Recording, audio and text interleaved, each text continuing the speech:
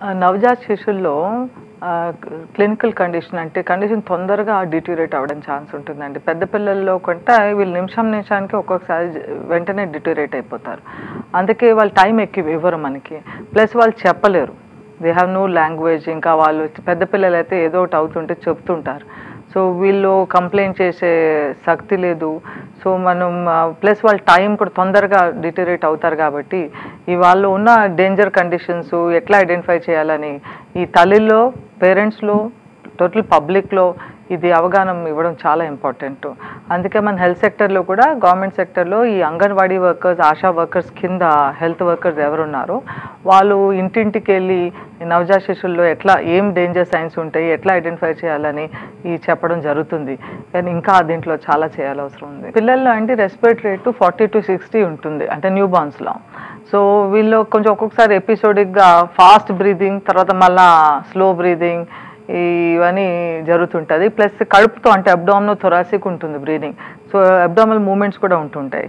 And చిన్నపిల్లల్లో మరి preterm బేబీస్లో వాళ్ళ lung maturity respiratory system maturity అంటే సెంట్రల్ కంట్రోల్ అంటే బ్రెయినే కంట్రోల్ చేస్తుంది అన్ని మెకానిజమ్స్కి ఆ డెవలప్ కాక కాదు ఫర్ ప్రీటర్మ్ బేబీస్ సో వాళ్ళు రెస్పిరేటరీ యాప్నియా అంటే బ్రీదింగ్ ఆగిపోతుంది. సో ఇది ఒక కండిషన్ మనం వెంటనే యాక్చువల్లీ గమనించాలి.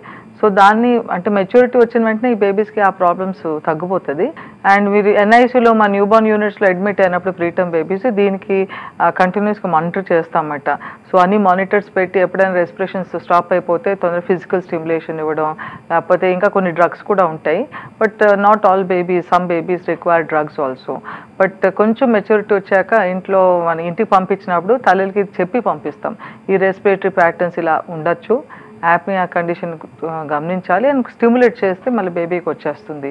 సో ఇది నార్మల్ టూ త్రీ వీక్స్లో సెటిల్ అయిపోతుంది. సో ఇవన్నీ కూడా నార్మల్ థింగ్స్ తల్లికి చెప్పడం చాలా ఇంపార్టెంట్. ఏడుపు అనేది ఒకటే లాంగ్వేజ్ ఉందండి న్యూ కి వాళ్ళు ఇంకా భాష నేర్పించలేదు ప్లస్ వర్డ్స్ కూడా ఇవన్నీ లాంగ్వేజ్ తర్వాత వస్తుంది. So first language only languages crime.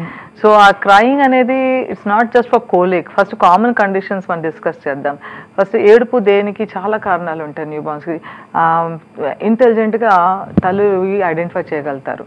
అంటే తల్లి దగ్గర ఉన్నప్పుడు వాళ్ళకి తెలుస్తుంది ఇది cry is for feeding hunger క్రైయా లేకపోతే కోల్డ్నెస్ కానీ ఇంకా ఏ ప్రాబ్లం ఉన్నా వాళ్ళు క్రై చేస్తారు. వాళ్ళు కొంచెం డిస్కంఫర్ట్ ఫీల్ అయినప్పుడు they may cry and other things is ఇమోషనల్గా వాళ్ళకి ఓన్లీ ఎత్తుకోమని.